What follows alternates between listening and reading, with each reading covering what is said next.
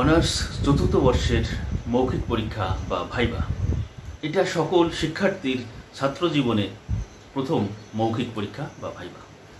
যেহেতু এটা তোমাদের প্রথম মৌখিক পরীক্ষা, সেই কারণে মৌখিক পরীক্ষার কোনো পূর্ব অভিজ্ঞতাই তোমাদের নেই। তাই ভাইবা নিয়ে তোমাদের মৃদু ভয় আছে। কি প্রশ্ন হবে, কেমন প্রশ্ন হবে, কীভাবে উত্তর দেব, উত্তর যদি জানা না থাকে তাহলে কি করব? এই প্রশ্নগুলো মাথার মধ্যে ঘুরপাক খায় আর দুশ্চিন্তাও ক্রমশ বাজে থাকে। আমি আমার ব্যক্তিগত অভিজ্ঞতা থেকে বলতে পারি, আমি ভাইবা বোর্ডে অনেককেই দেখেছি যারা ভাইবার ভয়ে কাঁপতে কাঁপতে ভাইবা কক্ষে প্রবেশ করেছে, এমনকি যখন তারা নাম লিখছে, স্বাক্ষর করেছে, তখনও তাদের হাত কেঁপেছে। সত্যি বলতে কি, ভাইবা বোর্ডে ভয়ের কোনো কারণই নাই। কারণ বোর্ড সদস্যরা ভীষণ হেল্পফুল এবং তোমাকে সহযোগিতা করার জন্যই তারা সেখানে অপেক্ষমান থাকে। তোমাকে আক্রমণ করার জন্য তারা কখনোই সেখানে বসে থাকেন না। তবুও ভাইবার জন্য তোমাকে একটা ভালো প্রস্তুতি নিয়েই যেতে হবে, যাতে করে ভাইবা বোর্ডের প্রশ্নগুলোর উত্তর তুমি সাবলীলভাবেই দিতে পারো। তোমার এই প্রস্তুতি দুই রকম হতে পারে, এক হচ্ছে সাধারণ প্রস্তুতি এবং দুই হচ্ছে বিশেষ প্রস্তুতি। আজ আমি এই ভিডিওতে সাধারণ প্রস্তুতি নিয়ে আলোচনা করব এবং যেটি তোমাদের জন্য অত্যন্ত গুরুত্বপূর্ণ। সাধারণ প্রস্তুতি হচ্ছে সাধারণ প্রশ্ন উত্তর প্রস্তুতি। এই পর্বে প্রায় দশটির মতো সাধারণ প্রশ্ন থাকে যা অত্যন্ত অত্যন্ত গুরুত্বপূর্ণ তোমাদের জন্য। ভাইভা বোর্ডে এই প্রশ্নগুলোর মুখোমুখি তোমাদেরকে অবশ্যই হতে হবে এবং এই প্রশ্নগুলোর উত্তর না জানাটা এক ধরনের লজ্জারই বলতে পারো। এবং যা তোমাদেরকে অবশ্যই জানতে হবে। তোমাদের উচিত হবে এই ভীষণ গুরুত্বপূর্ণ দশটি প্রশ্নর উত্তর জেনে ভাইবা বোর্ডে প্রবেশ করা। তাহলে এটা গ্যারান্টি দিয়ে বলা যায় তোমার পরীক্ষা ভালো হবেই। এখন তাহলে চলো জেনে নিই, সেই অতি গুরুত্বপূর্ণ, অতি সাধারণ দশটি প্রশ্ন কি কি? প্রথম প্রশ্ন, তোমার নামের অর্থ জানতে চাওয়া হবে।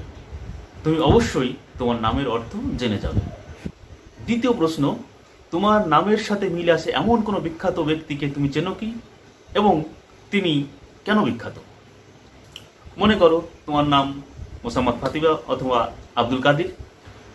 এই নামে কোনো বিখ্যাত ব্যক্তি থাকলে তোমার সেই ব্যক্তিদের সম্পর্কে ভালোভাবে জেনে যেতে হবে।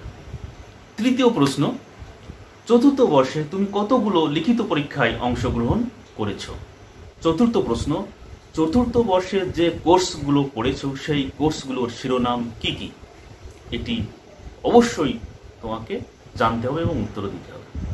পঞ্চম প্রশ্ন, চতুর্থ বর্ষে পঠিত কোর্সগুলোর কোর্স কোড কি কি? ষষ্ঠ প্রশ্ন, চতুর্থ বর্ষে মোট কত নম্বরের পরীক্ষা তুমি দিয়েছ? যদি তুমি ইতিহাসের ছাত্রছাত্রী হয়ে থাকো, তাহলে নন ক্রেডিট ইংরেজি সহ তিন হাজার একশো এবং নন ক্রেডিট বাদে তিন হাজার। এখানে আরেকটি সম্পূরক প্রশ্ন হয়ে থাকে, এই চার বছরে তুমি কত ক্রেডিটের পরীক্ষা দিয়েছ সপ্তম প্রশ্ন, তোমার মৌখিক পরীক্ষার কোড নাম্বার কত? যদি তুমি ইতিহাসের ছাত্র হয়ে থাকো, তাহলে তোমার কোর্স কোড চব্বিশ পনেরো আঠারো। অষ্টম প্রশ্ন, তৃতীয় বর্ষে তোমার জিপিএ কত ছিল? নবম প্রশ্ন জিপিএ এবং সিজিপিএ এর মধ্যে পার্থক্য। দশম প্রশ্ন এবং সব থেকে মজার প্রশ্ন যেটি, সেটি হলো, তুমি কোন কোর্সের উপর সব থেকে ভালো লিখিত পরীক্ষা দিয়েছ?